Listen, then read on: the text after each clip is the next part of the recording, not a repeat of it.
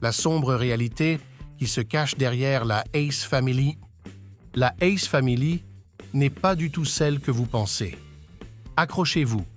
Voici des révélations qui vont vous choquer au plus haut point. Cette chaîne YouTube, qui fait beaucoup parler d'elle, a été créée en 2016 par Catherine et Austin, un couple faussement parfait avec leurs trois enfants. À ce jour, elle est l'une des plus populaires aux États-Unis puisqu'elle est suivie par plus de 18 millions de personnes.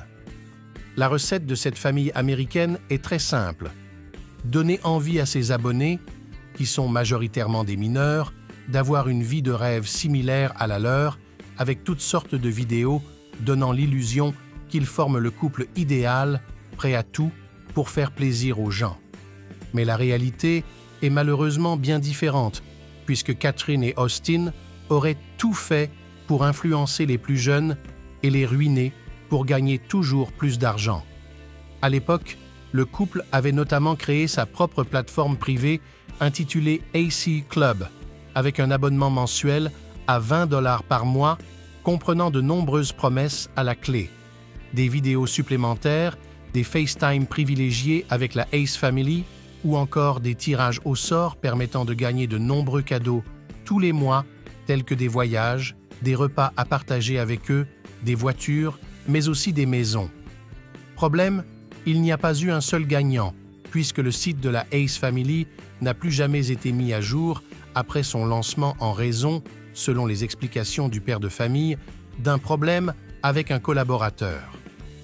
Peu de temps après, la famille a décidé de lancer sa propre marque de jus vegan, mettant en avant son côté healthy et très bon pour la santé. Mais en réalité, on a fini par découvrir que cette boisson était très sucrée et qu'elle était produite par un industriel très répandu aux États-Unis. En 2018, ils ont aussi lancé un concours de basketball offrant près de 100 000 dollars à celui qui remportait le défi. Une somme qui aura finalement été remportée par un basketteur professionnel qui était aussi l'un de leurs amis. Ces polémiques ont beaucoup fait parler mais le couple n'a jamais voulu en parler ouvertement sur les réseaux sociaux comme si elle n'avait dit jamais exister.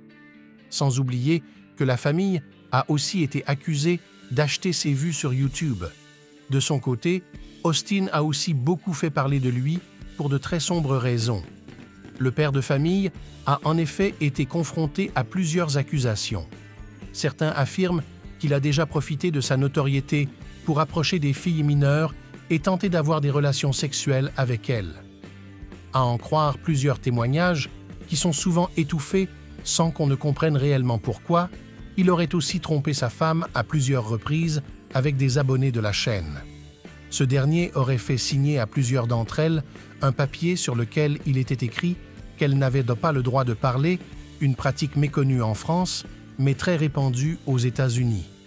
Si cette famille est très populaire chez les plus jeunes, elle n'en reste pas moins très problématique avec des scandales qui se multiplient depuis plusieurs années à tel point qu'une pétition aurait été lancée pour que la chaîne soit définitivement supprimée de YouTube.